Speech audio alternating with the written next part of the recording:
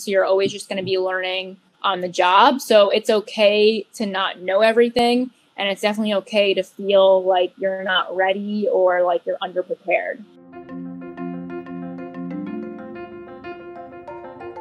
Hi, everybody. Hi, welcome to E Shadowing, guys. Hi, I'm Rodeline, as y'all may know. And today we have Nicolle Finn. Nicolle is a derm PA for our derm segment. Um, thank you so much, Nicolle, for coming on. Yeah, of course. Thank you. Awesome. Thank you so much. Nicolle is um, out here in New York. And as I said, she is a derm PA. So we're going to jump right in. So, um, Nicolle, tell us a little bit about your PA journey, why you chose PA, and different things you did to prepare for PA school. Yeah, so my PA journey um, started when I was in high school. So I would say definitely in high school, I always knew I wanted to do something in medicine, but was kind of unsure about what exactly that would be. So I just started doing some research about different careers in medicine and then also started shadowing some different um, healthcare workers in medicine. And I ended up shadowing one of them was a PA, and I really enjoyed what she did. And I honestly, I didn't really know much about a PA at that point, and I was so amazed that she was able to see her own patients. Um, she was able to do some minor procedures. Um, and she also was able to change specialties if she wanted to. So that was really appealing to me. So um, those were a few things as to why I was interested in being a PA. So then I just further did more research. Um, and again, I really liked the career. So I did research about PA school. So yeah, so I applied to accelerated PA programs, which means that um, so I was applying when I was a senior in high school, um, mm-hmm. and there's a lot of these programs nowadays. You know, there was a lot back, whatever it was, five years ago, whenever I was applying, but there's also a lot now. So basically, that means you apply when you're a senior in high school and you're going to go to that school, that same school for undergrad as well as PA school. Um, a lot of times you can be guaranteed a seat in their PA program, but of course you have to meet all the requirements. It's not like you, you know, you have to meet GPA requirements. You still have to get patient care hours, everything like that. So there's still all these requirements you still have to meet in order to get a seat in their PA program. But the reason why this is appealing is because it's um, usually quicker. So I did undergrad in three years and then just automatically went into the PA program. So I did everything in five years, undergrad um, and PA school. So that's why that was that, that could be appealing to some people because um, you're not taking any gap years. But of course, if you want to take a gap year, that's completely up to you. Um, but that's what I did. So I did that. And the school I went to was King's College, which is in Wilkes-Barre. I'm sorry. Um, King's College, which is in Wilkes. Oh, okay. Yeah. Um, and um, what was I saying? Oh, yeah. So I went there, and um, it's a small school, but I know a lot of people do like their PA program. So I went there, and then after undergrad, took the PANCE exam, which is the certifying PA exam. And then a couple weeks after that, started my first job, which is dermatology, and that's the specialty that I've been doing for the past been almost three years, which is crazy. I can't believe it. It's been that long. Um, you said so, your your first job. You said your first job was. I'm sorry, we're having connection issues. I'm so sorry. You said your first job was derm. Yes. Yes. Okay. Yeah. So okay. that's a little bit about um, my quick little PA school journey. Awesome, awesome. So, um, being that you were in an accelerated program and uh, didn't really have a gap year or didn't um, have to apply to multiple schools, did you were you also expected to get that healthcare experience? Yeah, so I still had to get um, healthcare experience and patient care hours.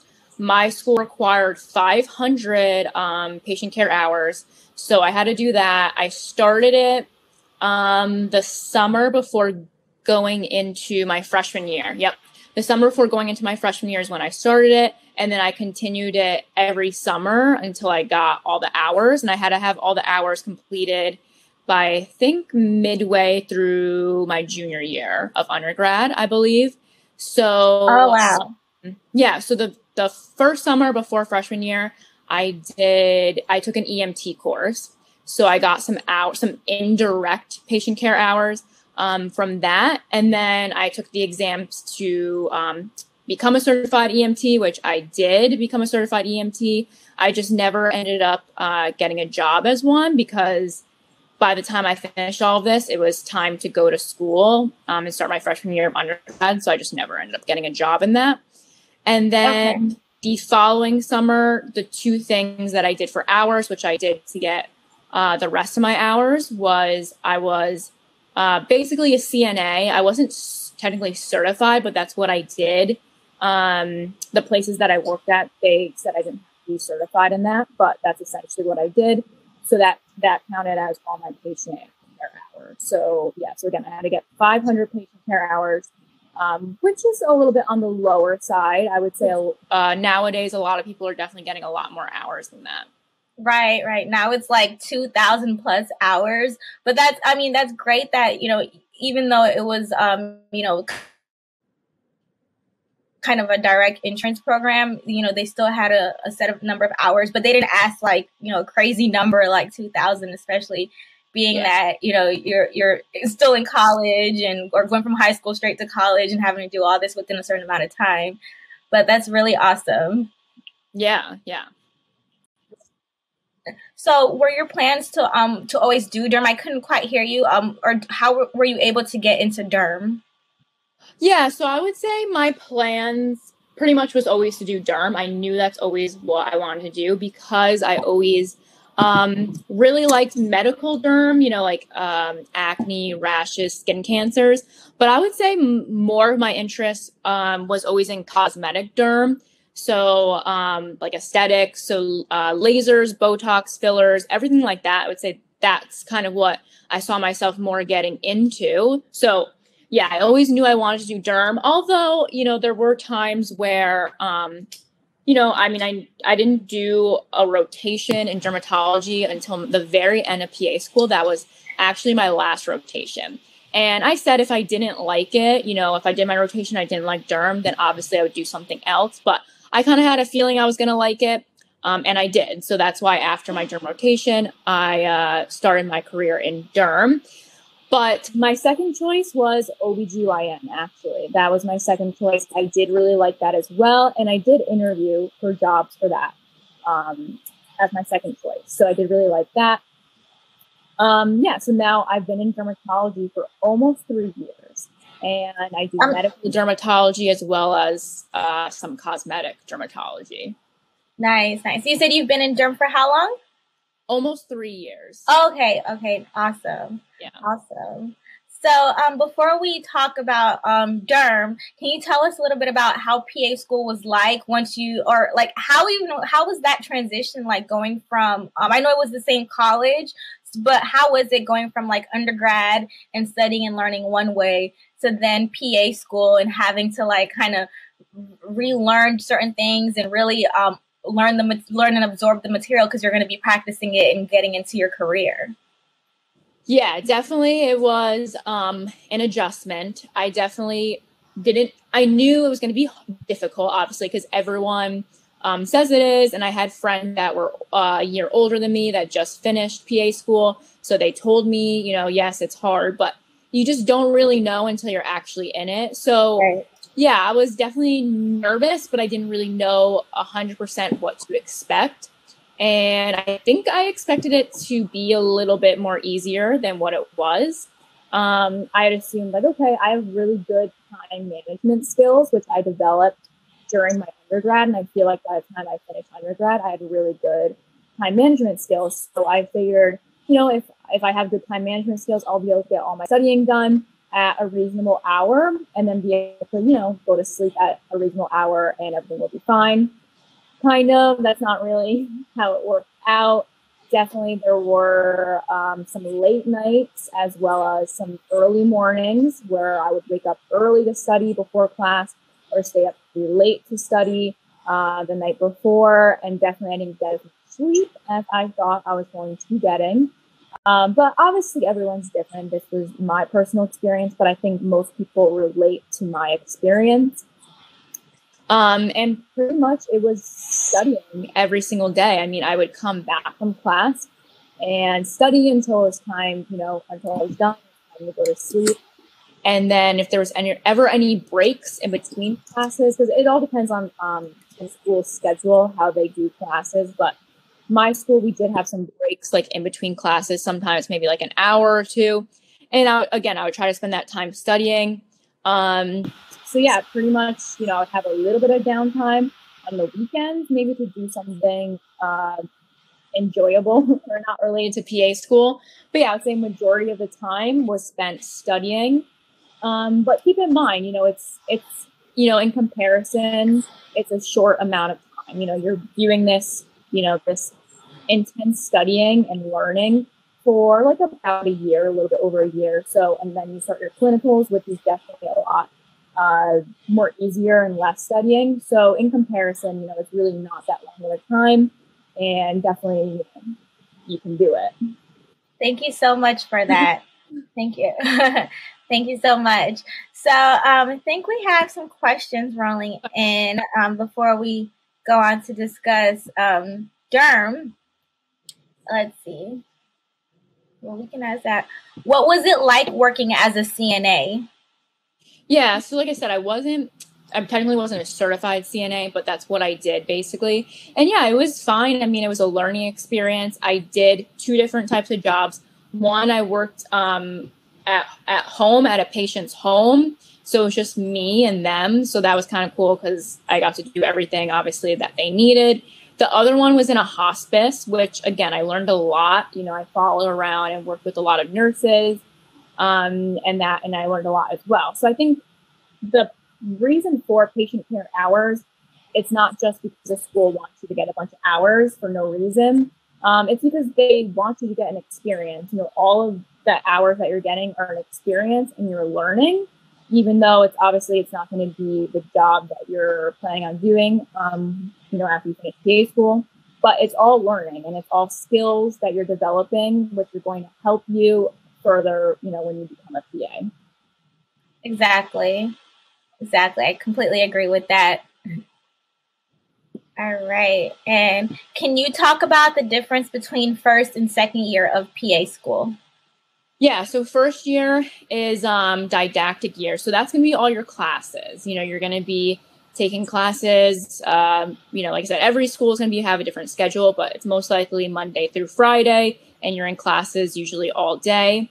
Um, and you know it's usually like i said i mean of course every school is different but mine was we had a fall semester a spring semester and then a summer semester of classes so and trying to think how many classes we would take a semester oh gosh i don't can't think of like an exact number but it was definitely a good amount of classes semester maybe like six or seven don't quote me on that but it's a good mm-hmm. amount of classes. It might it might have been more than that. I don't know, but it's a good amount of classes you're taking, and that's what makes it difficult and challenging. Is that it's a lot of classes and it's a lot of material in a short amount of time.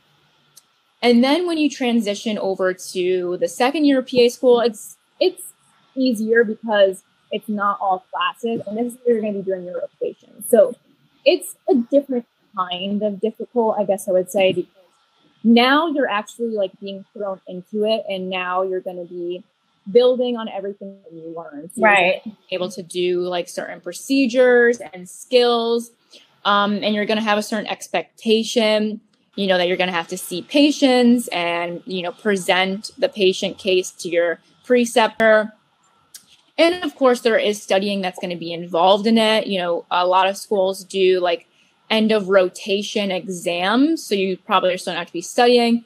You might have some sort of projects. And then, of course, um, you're going to have to st- start studying for the uh, PANCE exam, which is the certifying exam. So I obviously, a majority of people are going to be start studying for that during this clinical year or the second year of PA school. I started studying for it. So um, I took my exam in uh, the month of August. So I started studying for it around like March time, um, just a little bit. And I would say I really started studying for it that summer. So around like June, May, June was when I really started studying for it. And I took it, keep in mind, and then I took it in August. Um, so yeah, that's the difference between the two. Um, they're different, and like I said, they're both difficult and challenging, but in different ways. Okay. Thank you so much. Can you hear me? Yeah. Okay. Okay. Good. Okay. But um, you were referring to the PANCE that you started studying for in June. Right. Yeah. So the PANCE exam. Yep. That's the certifying exam okay. um, that you take right. um, after graduating PA school. Uh, you know, in order to become a certified PA. Right. Right. Okay. Sorry, we're just having a little trouble hearing you. No, that's okay. All righty. And the last question we'll ask as it relates to um, your pre PA journey is why did um, someone asked why did you choose PA versus MD slash DO or nursing? Yeah, I get that a lot. So first, I'll start. You know, why did I choose this as opposed to MD um, or or medical school? Um, so as I was saying earlier, there was a few reasons why the PA profession appealed to me. One, you are able to see your own patients and you are independent, but also at the same time, I feel like um, you know you're able to rely on uh, your supervising physician, which I like because I feel like that fit my personality. You know, I feel like I would consider myself a leader, but at the same time, I know I'm the type of person that I like to have that reassurance um, there and someone there if I need to ask questions um, or need to depend upon. So I know that that just fit my personality better. Um, and of course, like I said, the main thing I know was um, being able to change specialties pretty easily. Again, I kind of felt like maybe derm was what I wanted to do but that doesn't mean that's always what I'm going to want to do. I definitely think I have a personality that I like to try new things. And um, I feel like, you know, I was I, I wanted the opportunity to be able to change specialties. Now, in comparison to nursing, first I want to say like a lot of people always ask me why I didn't go to nurse practitioner school.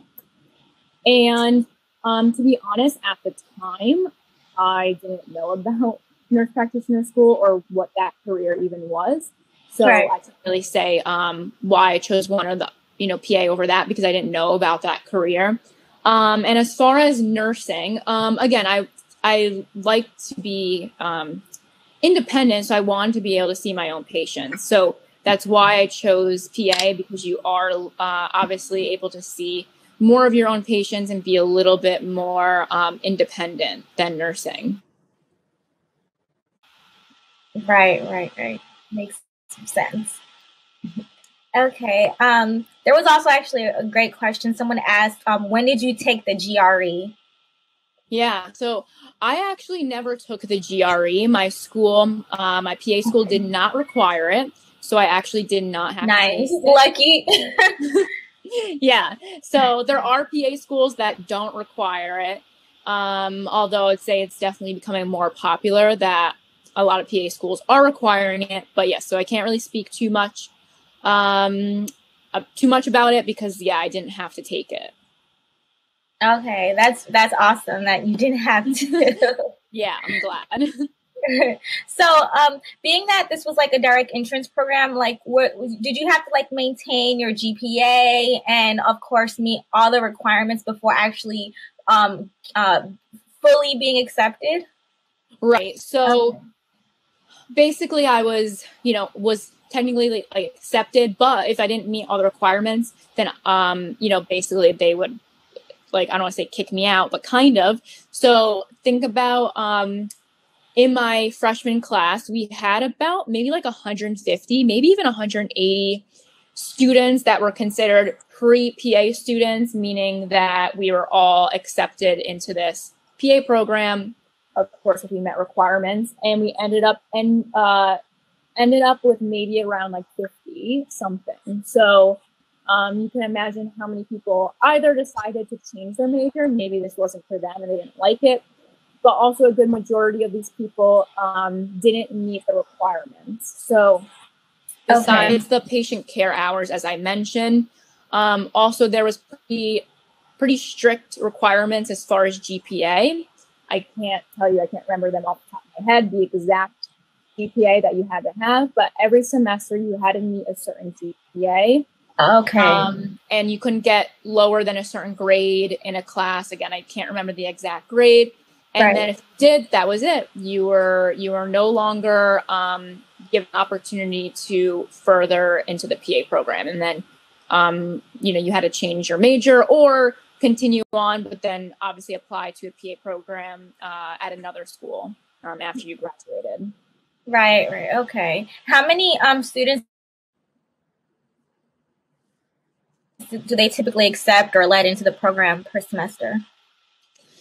Um, so well in the in the undergrad, like when we're all applying as a senior in high school, like I said, I think they accepted maybe like around 150 to 180. But in the actual PA program, I think we only had like 60 something seats. So Okay. yeah, yeah. So we had like 50 something of our own uh, school of the kids that went to King's College. And then I think we took maybe about like 10 or so from um, outside schools.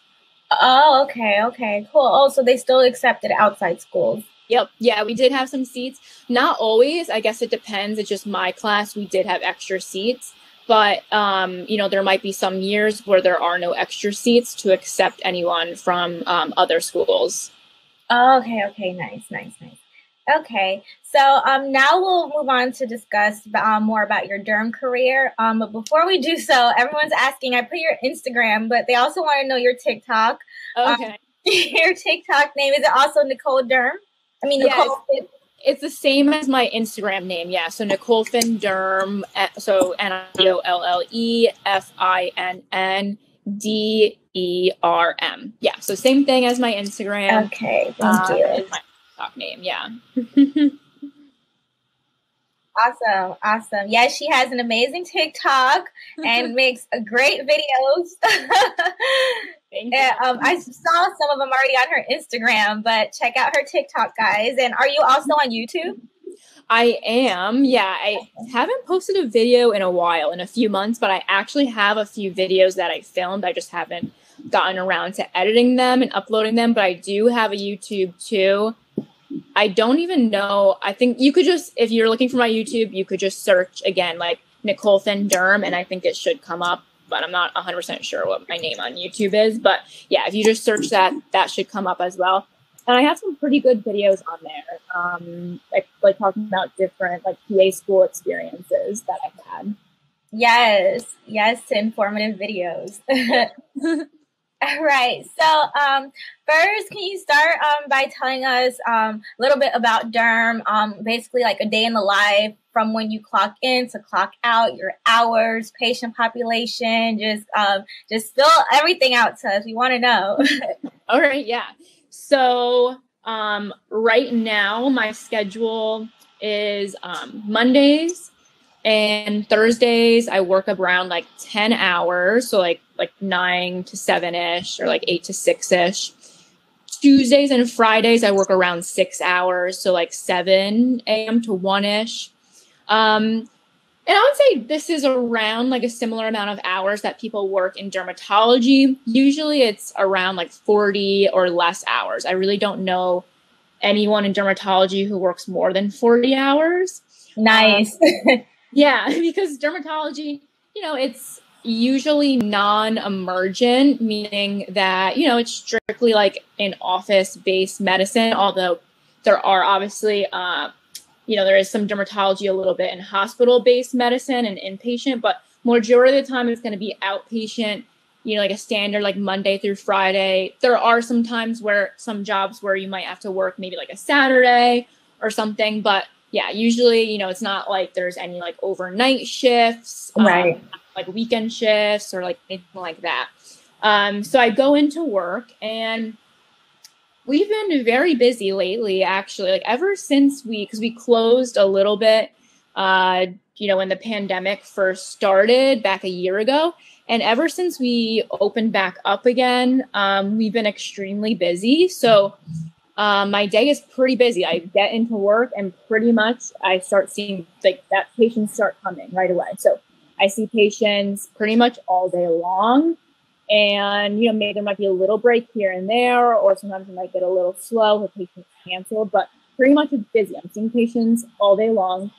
Um, patient appointments typically are around like 10 minutes, although that can vary depending if they're coming from, for some sort of like procedure or something that's going to take a little bit longer. But um, typically 10 minutes for a patient appointment. And that can range anywhere from, I would say, most common things acne, definitely um, because a lot of people have been getting acne by wearing the masks a lot. So I've definitely been seeing a lot more acne than usual. And um, hair loss, although I feel like that's been getting a little bit better, but a lot of people are experiencing hair loss from having COVID um, and just the stress of it all. So I was seeing that a lot.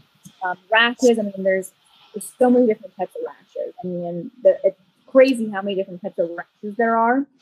So all different types of rashes, um, skin cancer screenings, as well as doing biopsies yeah. to remove moles that are suspicious for skin cancer. Um, and yeah, different types of procedures like freezing moles, um, injecting scars. So that's medical dermatology. And then, as well as I'll do some cosmetics as well. So, um, various types of lasers like laser hair removal, um, Botox, fillers, um, different types of other procedures on the face, such as chemical peels and microneedling. Um, and then in between patients, you know, when I have time, I try to do my notes because keep in mind, you have to write a note for every patient that you see. So I try to do the notes in between patients as well as, um, you know, if there's any lab results that came back from patients, uh, biopsies or anything we have to try to call the patients uh, about those. Um, or if a patient calls in about a question, you know, we have to try to answer, you know, call the patient back and answer those questions. So honestly, it's a pretty busy day. Um, and then whenever I'm done for the day, um, tr- I tend to get out like around, you know, on time, although sometimes it does run a little bit late. So I get out of work and that's pretty much it. I rarely have to do anything for work actually hello outside of work. Yeah, can you hear me? Um, it cut off. You said you get out around. Um, that's the last thing I heard. Okay, so yeah, I get off uh like around like the time that I'm scheduled to get out. Yes, yeah, so I typically don't stay okay. after super late. Um, and I typically don't really have to do anything at home for work because I pretty much am getting um, everything done at work that has to be done. So, uh, and so that, yeah, that's a typical day. Um, I hope that kind of explained um, as much as possible. But um, yeah, I, I have I have a YouTube video actually on my YouTube that I did try to do like a day in the life um, as best as best as possible. So if anyone wants to check that out, Have a video on it. Oh, awesome! Okay. Yeah. Thank you for that. Yeah. Thank you. And um, that's awesome. So um, being that today was Monday, I'm sure you had a busy day. So thank you so much for taking the time out to yeah. um, to come on e shadowing, especially after such I'm sure a busy Monday. yeah. No. Yeah. It's all good. Yeah. Thank you. Thank you. So um, how many patients do you typically see in a day? So yeah, when it's like a 10 hour shift, I would say around like in the high 30s, sometimes like 40 patients. Um, a six hour shift, it's still like quite a bit, maybe like around like 20 or so, maybe a little bit more. So yeah, you can imagine that's uh yeah, that's a lot of patients um, in that span of uh, time period. That is that is a whole lot of patients, especially only having like 10 minutes to go from patient to patient. yeah. Wow, wow. Um, so, um, what's your favorite procedure to do? My favorite procedure. Um, I like injecting, definitely okay. for sure. So, like, um, injecting like keloids or injecting like acne cysts. Um, keloids are pretty cool to inject because a keloid is a raised, it's a type of raised scar. Right. Um, so the point of injecting uh, we're injecting steroid into the scar. And the point of this is to try to get it flat. Um, mm. One that, you know, it makes it feel better. So a lot of times these raised scars get itchy and feel irritated. So it makes it feel better as well as um, it makes it look better as well. So I think that's pretty interesting to see the progression of like a keloid scar start to flatten. Um, so that's pretty fun. I like. Cool. So Yeah. Uh, cool. So when you inject um to keloid, what's the chance of it um rescarring or you know not um being effective? Yeah, so I mean, um it's not like injecting it is going to make the scar completely go away. It just helps to decrease the raisedness of it. And but there's always a mm. chance that the scar could re-raise. So definitely there's a good chance. Um mm. I don't know. I don't know exact percentages, but yeah, there is a chance right. that the scar could definitely re-raise. Nice. Okay. So, um, do you work pretty independently? How often do you work with your supervising? Is he always there? How is that dynamic? Yeah. So, um, he's not always there. He or so, she. I'm sorry. Yeah. Yeah. Well, yeah, it's a he, but yeah, he's not always there. Um, we majority of the time don't really overlap that much. Um, maybe sometimes we might overlap a little bit where he's there the same time I'm there but pretty much we actually don't overlap that much. Um, some people like it all depends. Because some people in my company might overlap a little bit more with their supervising physician, but just the way our schedules work, we just don't really um, overlap that much. But of course, he's always there. If I have a question, I'll text him, call him, um, email him. So he's he's definitely always available if, if I need um, to ask him a question when he's not actually in the office. Okay. Cool. So, um, one question was, wait, I had a good. I'm sorry, looking for that question. Uh, it basically said how um how long did it take you to uh, transition or adjust to um you know the, the, your specialty once you started or was a new grad, or how was that adjustment? Yeah. yeah so definitely i think everyone um, kind of feels the same way when you graduate pa school and start whatever specialty you're going to be in definitely everyone feels like underprepared you know you lack confidence you know you're like oh my gosh how am i going to do this but right. every job you know when you're a new grad has a training period usually they should so they have a period where you know they're going to train you and you're going to shadow um, so that's where you're gonna, you know, learn everything that you need for the job. And of course, once you finish this training period, um, which sometimes it can range from a month to like a few months. Mine was like around six months, which is pretty good. Um, again, you're still not going to feel 100% confident, but you will definitely gain more confidence, um, you know, with time. And, you know, you definitely, you're, you're just always learning. So you're always just going to be learning on the job. So it's okay to not know everything. And it's definitely okay to feel like you're not ready or like you're underprepared. Yes, that's very true. Um, so, as far as um, as far as injecting, you had to get certified, right, for uh, Botox and um, all that certification. Did, so, were you able to get like certified through your job or take another course? Yeah, so my job was good that they did allow me to get certified through my job. Okay. I would say probably majority of dermatology offices will probably offer training through the job, you know, uh, although some might make you look um, at outside places or elsewhere. But yeah, probably majority of derm, they're going to help you find uh, or help you get certified on the job. So they would have trainings that we would go to after work and um, that's how you would get certified in these uh, cosmetic procedures. Okay, nice. And how long did it take you to get comfortable with injecting? Um, yeah, definitely a while. I mean, you know, the first patient, you're definitely really nervous. And, you know, it takes a few patients to definitely feel comfortable. And then there's always like new techniques and new um, things coming out. So definitely cosmetics, you're always going to be learning and always going to be training um, on procedures. Right, right. Very true. okay. Just looking at more questions. And you have uh, holidays off, right?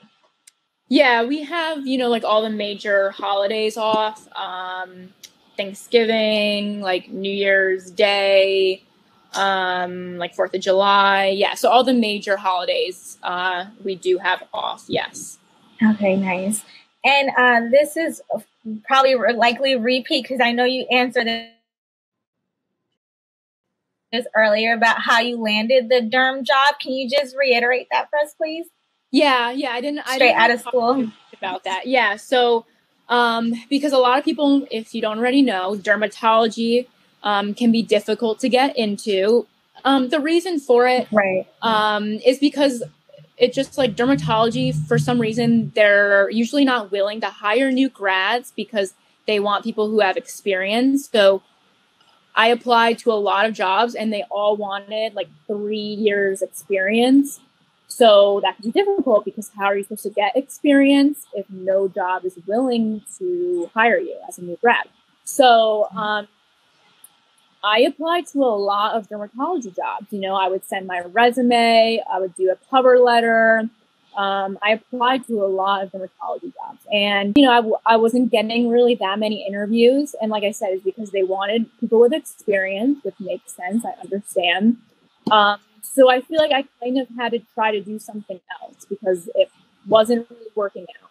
You know, yes, like I said, I was getting some interviews, but it wasn't really for a job, like a dermatology job that um, wasn't really what I was looking for. So I started reaching out on social media, actually. So um, someone that worked at the company that I work at now, actually, she followed me on Instagram. So, um, and I saw that she followed me. So I messaged her on Instagram asking if I could come shadow um, for a couple hours. So she let me come shadow. And basically, that's how I got in. And she put in a good word. So, yeah. So, my best advice is obviously you have to keep applying. Of course, you know, like I said, I applied to a lot of jobs, but also you have to figure out ways to kind of meet people. People. So, that could be um, through different social media outlets, or maybe you go to like dermatology conferences and meet people, or if there's any sort of like networking events, um, stuff like that. So I think nowadays, and this doesn't just go for dermatology, but a lot of specialties, I think really you have to just kind of start to put yourself out there and not be afraid of, of maybe like someone doesn't get back to you, like, or they say no um, that's okay. So it's all about putting yourself out there and figuring out other ways to meet people in the specialty that you want to get into. Right, right. Wow, the power of social media. That's awesome. Oh, yeah. Right. Okay, I keep getting this question about dermatology being such a high paying specialty. It is. It's a really good specialty, guys. It is. yeah. So, um, dermatology, I think the reason why it gets a rep, uh, rep for being high paying, one, again, it's usually outpatient private practice, which is known for being more higher paying than inpatient medicine. And of course, like I said, there's a lot of cosmetics involved. Right. Cosmetics are out of pocket. They're pretty expensive. They're pricey. So I think that's that's why there's um, a high revenue in these type of offices, so that's why there's a higher salary. Right, right. Thank you for answering that. Thank you because I kept getting that. Okay, okay, that's none of y'all business, but okay. Thank you so much. Yeah, I mean, you guys can also like look it up. Um, there's uh, there's a lot of, I mean, all jobs pretty pretty much pay really well. Of course, um, some pay more than others. Um, but derm is definitely one of them. But yep. thank you for explaining that. okay, so we're gonna move on to the case study presentation. Um, so I'm gonna have Nicolle share her screen and get ready to present. All right. So um, let's see. Okay, so I think it's sharing, but let me know if for some reason there's an issue. Okay, yeah, I see it's I, I see the screen share. Okay, yep, it's pulling up now. All right, perfect. So this is just kind of a quick little case study, but I thought it was interesting because it's something, it's not like super common, but also at the same time, I do see it. Um, and it's interesting because a lot of people don't know about it. So, all right. So this is, I made up this patient, but this is like a classic example. So this is a 30 year old female patient presenting to the office with a rash that has been on the stomach area and the chest for about 10 days. The patient denies any itching, burning, or tenderness. Um, she states the rash started with one larger patch on the chest area, which was there for about a day, and then it started spreading to all these other patches. Um, she denies any other symptoms. So, like I said, she's not having any itching or anything like that. She's not having uh, anything else happen except for the fact that visibly she has this rash. She denies having any medical condition. She's not taking any medications. She has no allergies. So she just can't figure out what's causing this rash. So if we look at this picture, we see this larger patch of skin. So if you can imagine like this larger patch, like I said, it started on her chest. So imagine this larger patch on her chest for about a day or a few days. And then all of a sudden, she started getting all these smaller patches all over her abdomen, stomach area, um, and then her chest. So I don't know if anyone has ever had this rash before or if anyone has any experience. Um, if you want to take any guesses before I take the answer. Do you mind making? Do you mind? Sorry to interrupt. Do you mind making the screen um full screen? Uh, yes. Let's see. Oh, that's not how you make a full screen. Um, oops. And yeah, how do I make it full screen? Um. Oh wait, I think I just have to. There should be. Okay, there we go.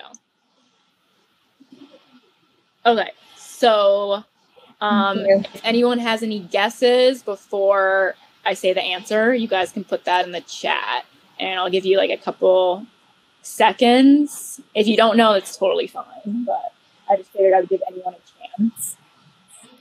Penny Rice is rosea, rosacea. I, am just throwing out some of the the uh, answer choices.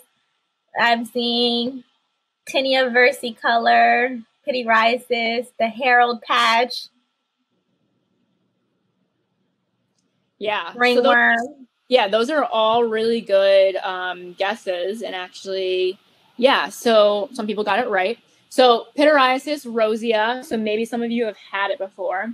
Um, so this is it's a viral rash. Actually, it's caused by a virus. Uh, virus, the herpes virus six and seven.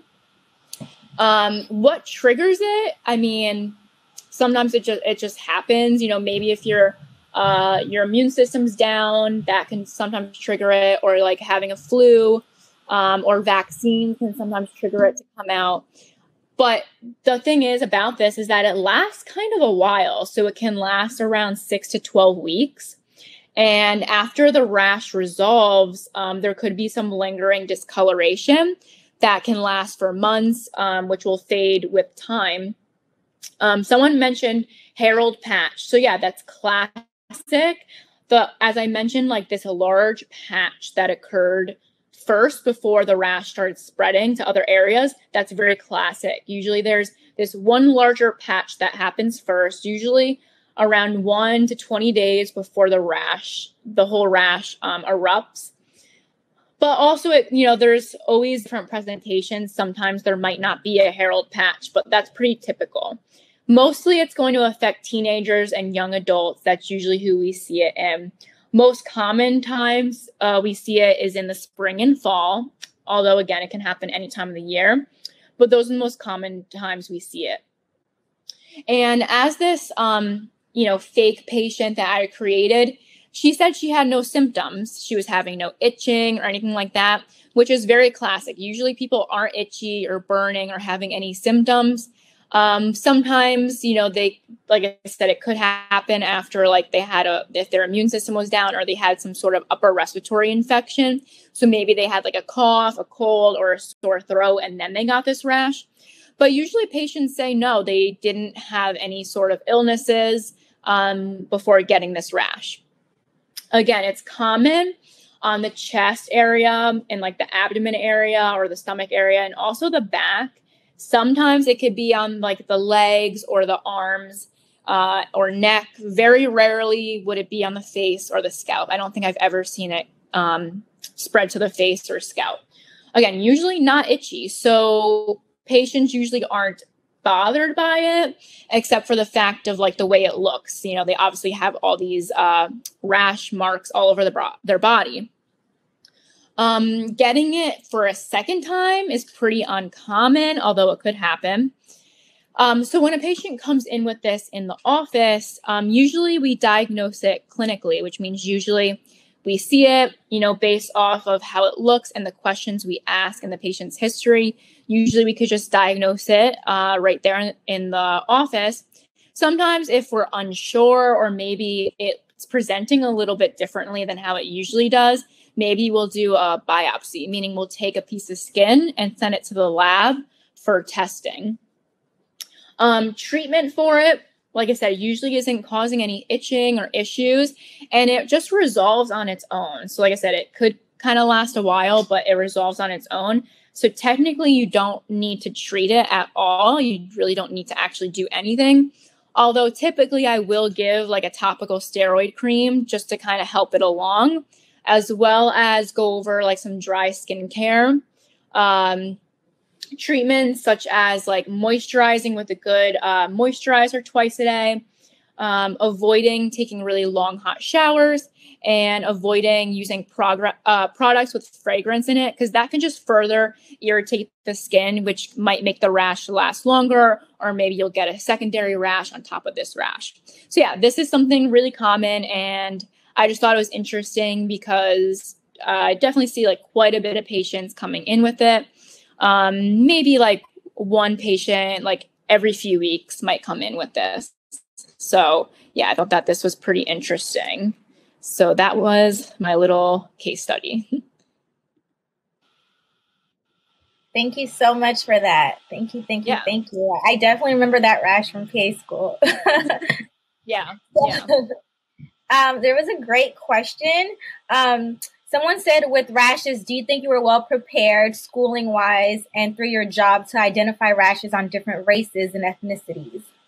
Yeah, that's a really good question. Um, yeah, so definitely different skincare, uh, or sorry, different dermatology conditions uh, present differently on different skin types and tones. So, um, you know, I would say I had a pretty good training when we were training and I was learning uh, you know, in my six month training period, I saw patients of all different skin types and tones. So I was able to see rashes present differently on different skin types, as well as the uh, my work provided like PowerPoint presentations for us to study from.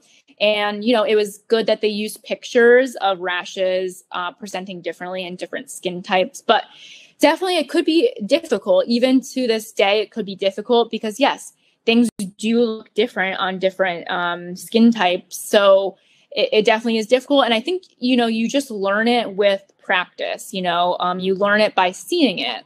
So the more you see different types and the more you see all different types of rashes, the better you're going to be and the more uh, you're going to learn.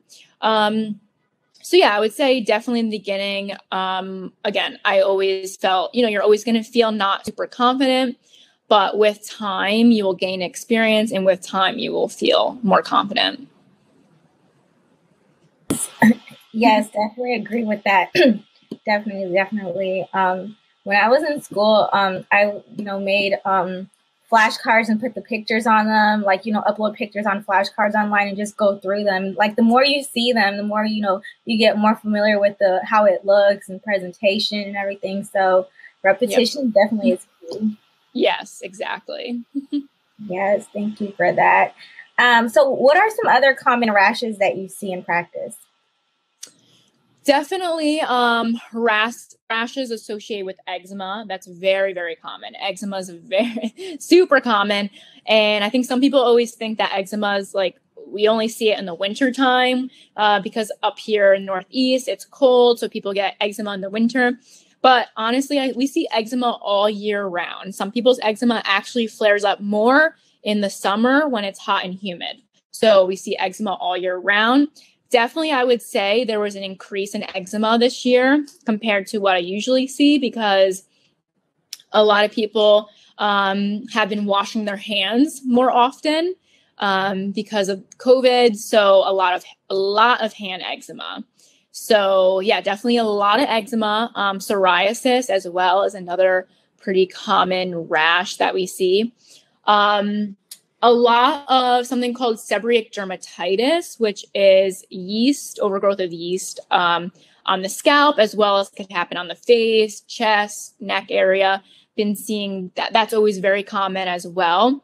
Um, in the summertime, tinea versicolor, which is a fungal infection as well, that's pretty common in the summertime um, because usually that uh, can be caused by sweating or like hot, humid weather. And a lot of times people notice it in the summer because those the area of the skin that is affected by the fungus um, doesn't like tan with the sun. So that's why a lot of times people notice it in the summer. So I'd say those are the most uh, common rashes that I see. Okay, cool, cool. Yeah, I, I remember a lot of those from school, especially tinea versicolor. yeah, yeah.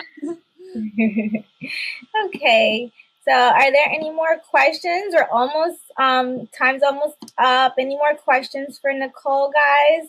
Let's see if we miss anything. Someone said, um, "Does does pityriasis typically scar?" So not scar, but as I mentioned, pityriasis rosea can leave discoloration. So, um, and that's the case with a lot of rashes. It's not just that rash, even like eczema, psoriasis, anything like that. There's always a chance of it leaving discoloration um, left behind. And the reason for that usually is because when there's any sort of inflammation on the skin, uh, the skin reacts by overproducing melanocytes, which are the cells that um, give uh, our skin our pigment. So yeah, so a lot of times we're left with discoloration left behind. Um, but you know this, which discoloration is definitely difficult to treat, but it fades with time. So yes, it can relieve from discoloration, but with time that will continue to fade. Okay. Thank you for answering that. Um, one question. Um, another question is, uh, what are some tips you have to for a student to get accepted into a direct entry PA program? Yeah, so if that's what you're interested in, then you have to start looking um, when you're in high school, because like I said, you're going to apply when you're in high school. So you want to start looking, you know, your junior year. I would say start looking at schools that have these um, direct entry accelerated programs and start to see if you could do if they have like any open houses or if you can go visit the school to see if the campus is. Um, so you can start to get an idea of what schools you're going to want to apply to. And as always even when you're obviously applying pa school after undergrad same um, concepts apply when you're applying to these direct entry programs you obviously need to have a good um, application so that includes having obviously a high gpa um, as well as having like extracurricular activities. Obviously, patient care hours you're you don't get until pretty much after you're already accepted, but they're gonna still want to see that you did something. So I um actually volunteered at a in high school. I volunteered at a hospital um, for a few years, so I had a lot of hours volunteering at a, at a hospital. So you still want to make sure you're getting some sort of hours, like volunteer hours or something that you're doing in healthcare. Um, so that way it'll look good on your application. Thank you. Thank you so much. That was some great advice. That was some awesome advice. Okay. Um, somebody said, Do you ever have those I don't know what this is moments? yes. And that's funny because I was just talking to um, colleagues that I work with the other day, and we actually were just talking about this because I did have a patient the other day um, with this very, um, you know, abnormal presenting skin lesions that I have never seen before. Um, and I said to the patient, uh, listen, you know, we're going to do a couple different treatments, but I will be honest, I'm not 100% sure what this is. And I was honest with the patient. I'm not going to tell them, yeah, I think it's this or, um, yeah, it's definitely this when I'm not actually sure. So I said, I'm not 100% sure, but let's try this. And then if it's not getting better, we're going to do a skin biopsy where we'll take a piece of skin and send it to the lab. So, yes, there are times where me or other colleagues just have, you know, get a really, you know, weird case that we have never seen before. Um, but the thing is, is that like you develop skills that even if you're like, okay, I have no idea what this is, I've never seen this before, I've never learned about this. Um, you know the skills and the right steps to take to figure it out. So I knew that even though I didn't know what this was, I knew there were a couple of treatments that were pretty um, generalized that we could try. And then I knew that if it wasn't getting better, I could always rely on doing a skin biopsy. Mm, mm, that's true. That's very true. Yeah, and uh, steroids. Try for steroids, steroids huh? Everything. Yeah, it's always steroids. right? Yeah, they I, steroids and skin conditions, man. yeah, but I mean, a lot. You know, obviously there are rashes where um, giving them a topical steroid could, could actually make it worse, especially in some functional right. rashes. But yeah, a lot of rashes are inflammatory. I would say that's the majority of the rashes we see, which usually are treated by steroids. Right, right, right. yes. um, so, but what what is your take on steroids?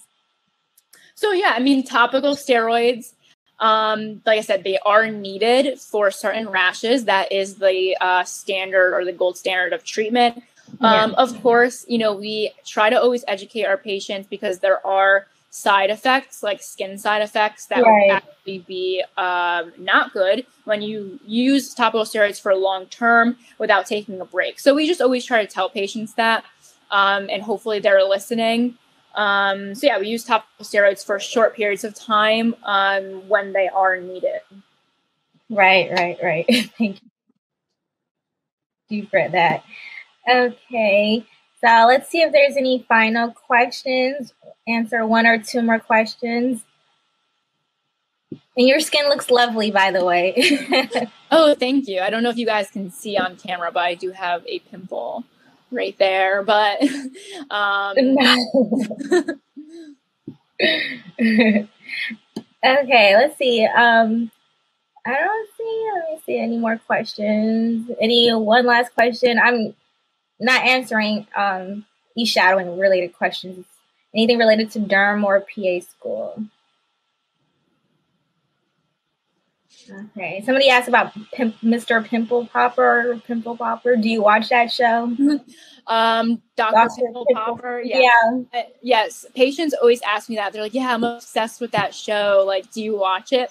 Um, I really don't watch it. I've seen like a few episodes, but I really don't watch it that much. Um, and I think the reason for that is because I'm, you know, like I experience these type of things every day in the office. So I don't really want to watch a show on it. Yeah, it's an interesting show, yeah, and I think a lot of people enjoy it. right, right. Yeah. Okay. Um, thank you, thank you so much, Nicolle, for coming on. Thank you for um, teaching us, hearing about your story and your journey, and giving us your insight and advice. Thank you so much. We really, really appreciate it. Yeah, of course. Thank you.